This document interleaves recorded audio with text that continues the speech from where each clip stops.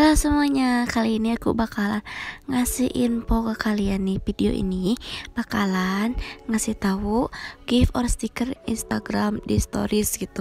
Jadi kalian tinggal searching aja gitu namanya. Dan langsung aja teman-teman ke videonya ya